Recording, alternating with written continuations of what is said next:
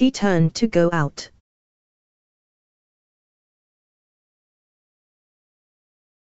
Uncle Timur called after him. When you were a boy what did you do?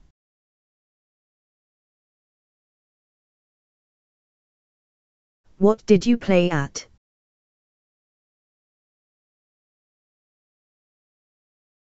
We.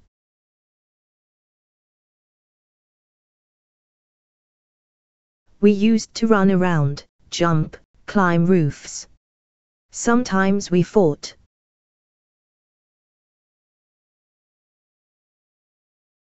But our games were all quite simple and everybody could understand them.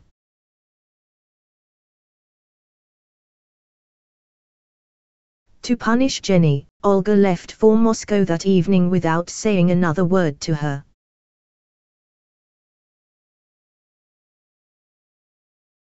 She had nothing to do in Moscow, so she looked in on a friend of hers instead of going straight home.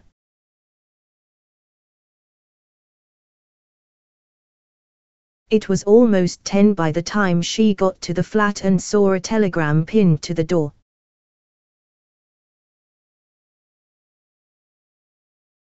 Olga scanned the short message.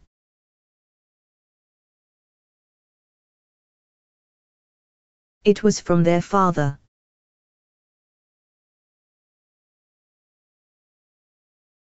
Toward evening, when the vans began to leave the park, Jenny and Tanya ran home.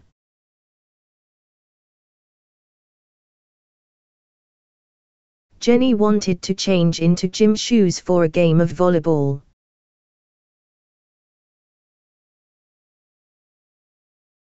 Just as she was tying her laces the mother of the fair-haired little girl entered the room.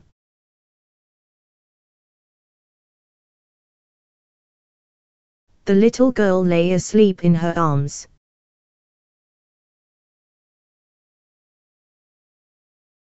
The woman was crestfallen when she learned that Olga was not at home.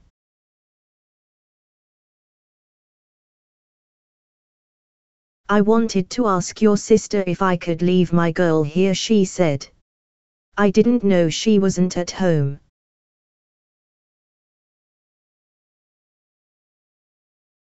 The train arrives tonight, you see, and I have to be in Moscow to meet my mother.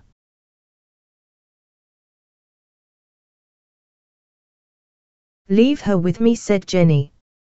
What if Olga isn't here and he I good enough?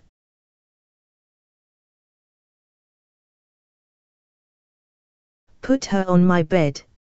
I can sleep on the other one.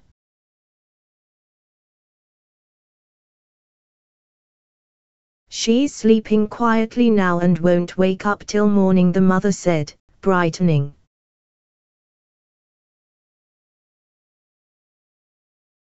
All you have to do is to take a look at her and straighten her pillow now and then.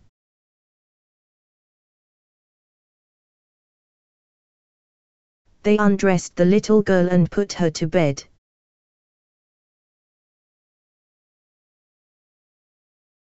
Her mother left.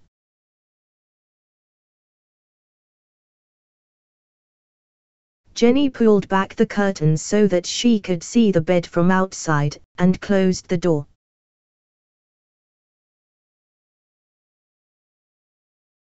Then the two girls dashed off to play volleyball having settled that they would take turns running back to look at the child.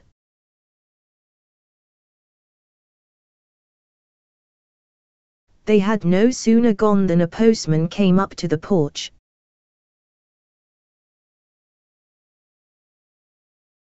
He knocked for a long time, and since there was no answer he crossed over.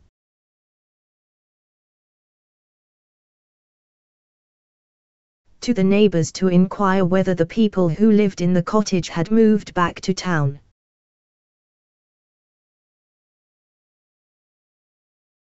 No, the neighbor said. The girl was here a moment ago.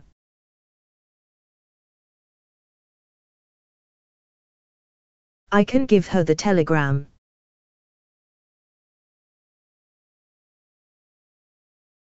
The neighbor signed for the telegram, put it in his pocket, sat down on a bench, lit his pipe, and waited for Jenny.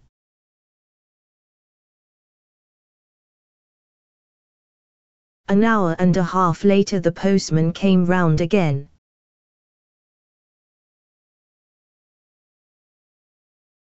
Here's another one he said.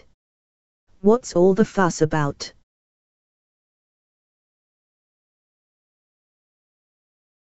Be a good fellow and sign for this telegram too.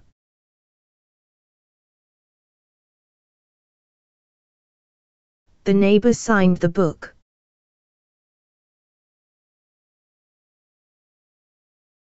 It was quite dark now.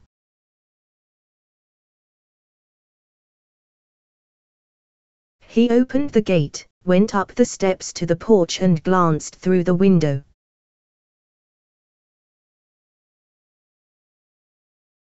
Inside, a little girl was asleep, with a tawny kitten curled up by her head.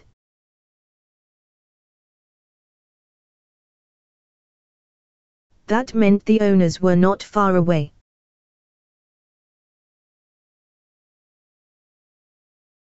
He opened the top window and shoved the two telegrams through.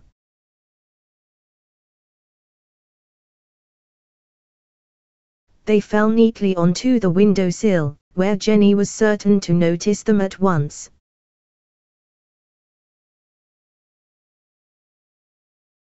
But Jenny did not notice them.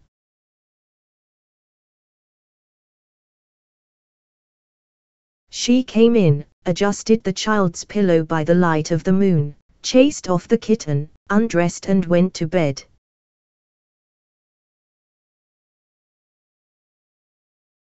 She lay for a long time thinking about life.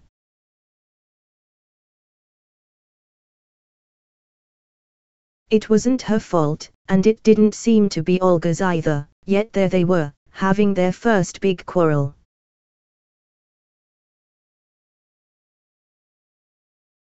Jenny was sad.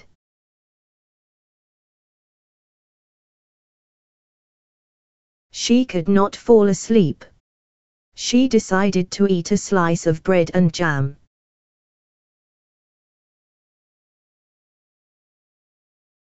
Jumping out of bed, she ran over to the cupboard, switched on the light and saw the telegrams on the window sill.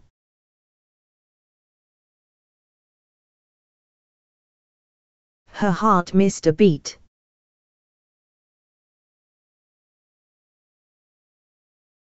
With trembling fingers she tore open the telegrams.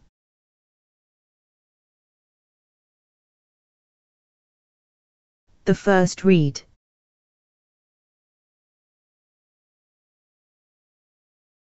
Will stop over en route midnight to 3 in morning. Wait for me town flat.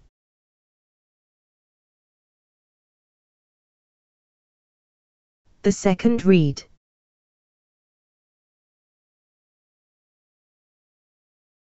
Come immediately.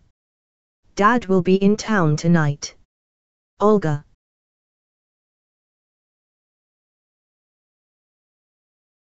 Jenny glanced at the clock with a sinking heart.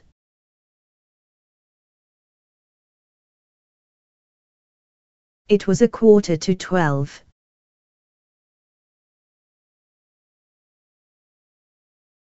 Pulling on her dress and picking up the sleeping child, she dashed out onto the porch like one possessed.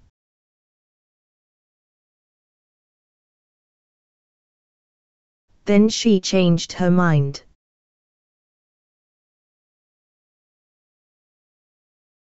She put the child back in bed, ran out of the house and made for the milkwoman's house.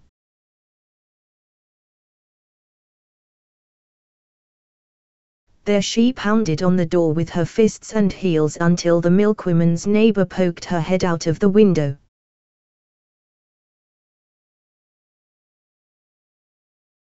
What are you knocking for? the neighbor asked in a sleepy voice. What are you up to now?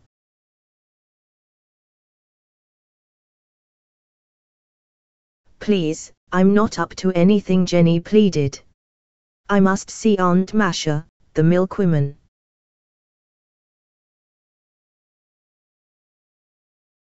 I have to leave a baby with her.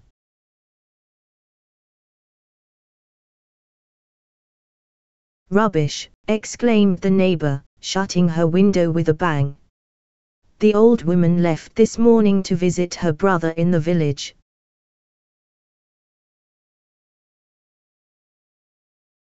A train pulling into the station blew its whistle.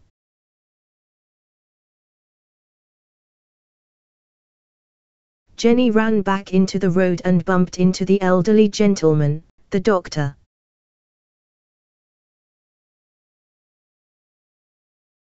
Sorry, she gasped. Can you tell me what train that is?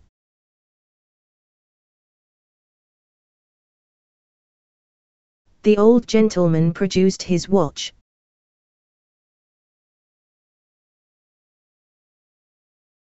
The 11.55 he replied. The last train to Moscow.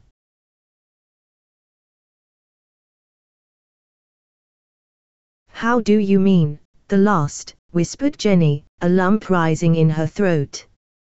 When does the next one leave?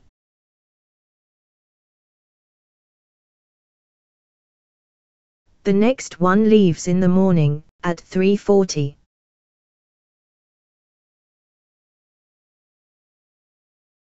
What's the matter with you, child? he inquired solicitously, catching the reeling girl by the shoulder.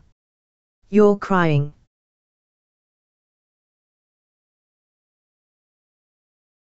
Can I help you in any way?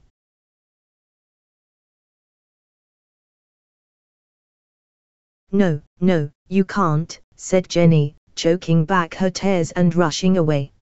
Nobody in the world can help me now.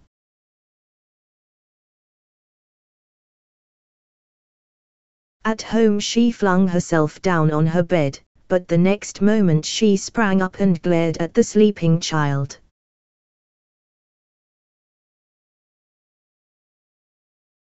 Then, pulling herself together, she straightened the little girl's blanket and whisked the tawny kitten off the pillow.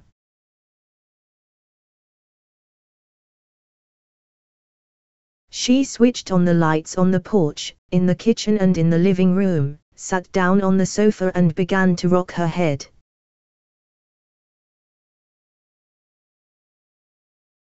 She sat that way for a long time, thinking about nothing in particular.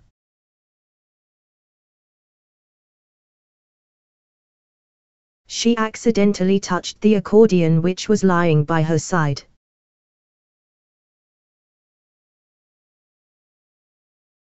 Lifting it up mechanically, she began to finger the keys.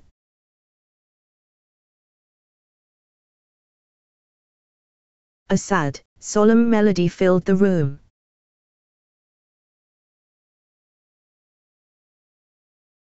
Jenny abruptly laid the accordion aside and went over to the window.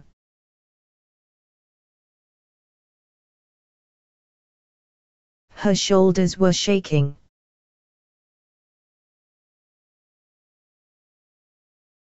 No.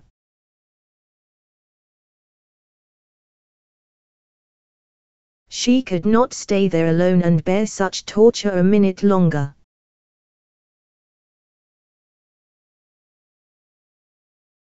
She lit a candle and stumbled through the garden toward the barn.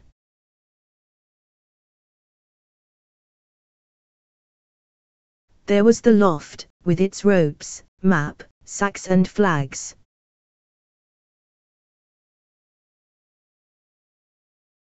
She lit the lantern, went over to the wheel, found the right rope, hooked it on, and then jerked the wheel.